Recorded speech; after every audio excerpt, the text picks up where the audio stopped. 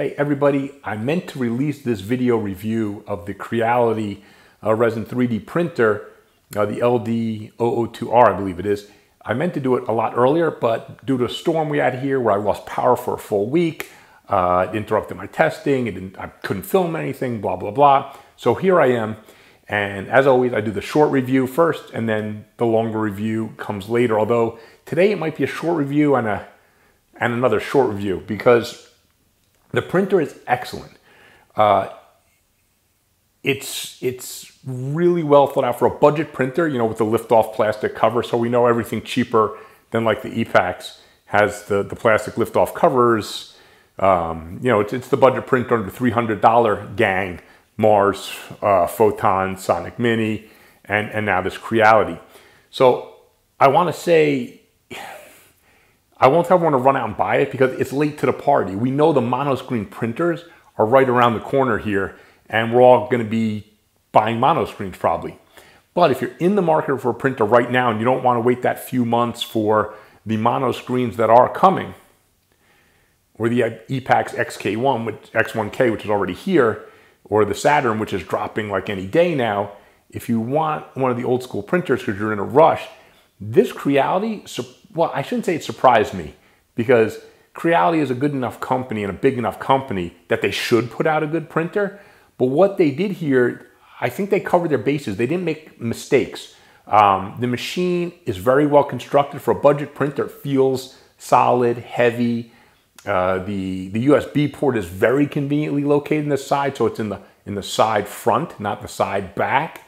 Uh, it came pre-leveled from the factory, which I didn't know. I thought you had to level it, but and maybe it was coincidence, mine was leveled perfectly. I actually tested for it, and then it came perfectly leveled, although I don't see them advertising that. It has a built-in filter, and, and you know, I really couldn't smell my resin coming out of there compared to my other printer, so I, I think as far as I can tell, the built-in filter works. They have a very stable Z-Rod, as you would expect, you know, given that they're making the last generation of these budget uh, regular LCD printers. So it's not so much, it's interesting. This review for me is not so much about this machine because like I said, it's part of a dying generation of technology. But like I said, if you need one right now, this is actually, if you can get this cheaper than any of the other competitors, because they all print about the same, but this, this has a lot of bells and whistles for a budget 3D printer. So if you can get it at a good price, I actually would recommend you get this one now if you're saying, I need to get a printer now, I'm not waiting a month or two or whatever it is to get a mono screen. But more importantly for me, I think, this actually gives me hope for Creality's next generation because this machine, they I think they did so right for a budget printer that gives me hope that when they come out with their mono screen, maybe they'll actually be competitive in the resin printing world. You know, they're dominating the the FDM world, but they were never able to make the splash in resin. And well, splashing resin's a bad thing. But anyway, you, you guys know what I mean they didn't hit that the resin market. You know, it's almost like they got blindsided by Anycubic and never recovered. And then Elegoo came out of nowhere and and took market share that they didn't get. And then you know, Phrozen did too. And I was thinking the whole time, where is Creality? Like they're dominating FDM. Why aren't they, you know, doing something good in resin? They should have the resources to do it. And then this machine comes out, and it's an excellent machine. Like I said, they, for a budget printer, I feel like they thought of everything they could think of and they just put out a really excellent budget printer. Now, again, it's the dying technology, so I'm not, I can't get overly hyped about it.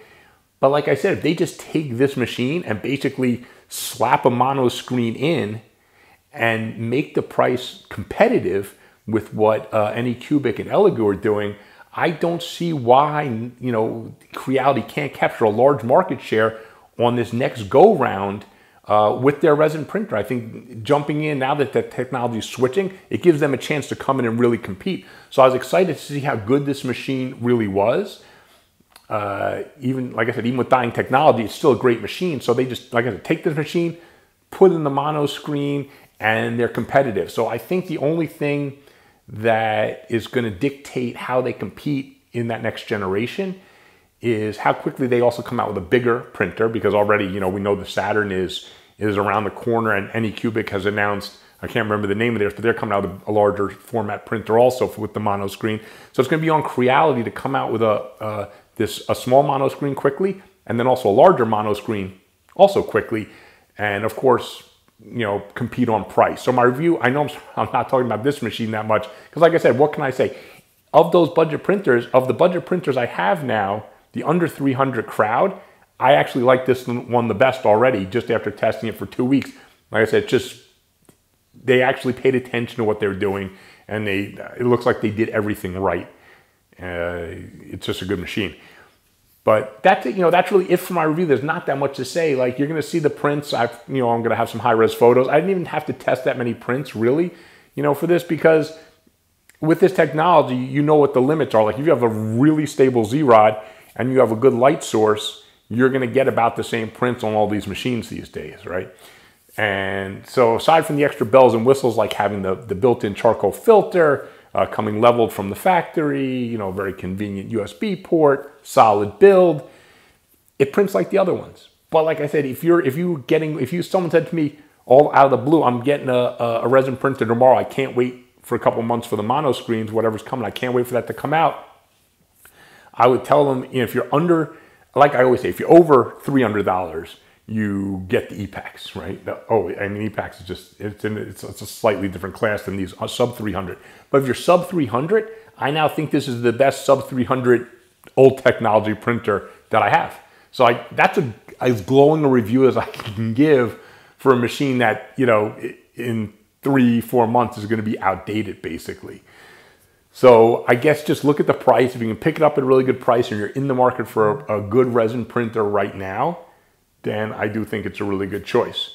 Other than that, I, I would say Creality, if you're watching my review, like hats off, you guys did a really good job on this machine. Make sure you do as good a job on the mono screen version, better if you can somehow, if you can find some way to better it, uh, and, and control price, and get working on a large screen also, and you guys maybe can compete in this resin arena in this next generation. So that's it. I uh, hope you guys liked the video. Hope this helps you out a little bit. Please like, please subscribe, please check my other videos. Um, that's it. I will see you again soon. I'm, I'm working on some more uh, tips and tricks for supports and also understanding your resin printer a little better so you can get better results.